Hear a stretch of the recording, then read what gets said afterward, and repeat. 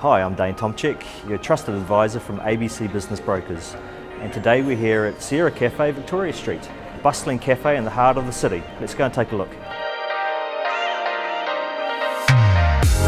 Located inside Oracle House, which is home to approximately 500 corporate workers, this cafe is within metres of some of New Zealand's largest businesses, including Spark, NZME, Auckland City Council, and Les Mills Gym. Literally thousands of customers pass this location every day.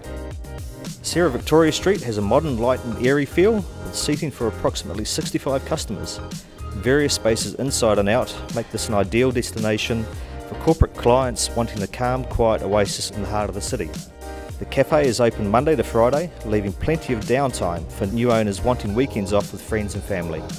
Current rental is a competitive $60,000 plus GST per annum, with a generous term left until 2030. New apartments, the Sky City Convention Centre and multiple office development projects are likely to ensure further growth for years to come. No experience? No problem, as full training will be provided by New Zealand's leading boutique coffee company, Sierra.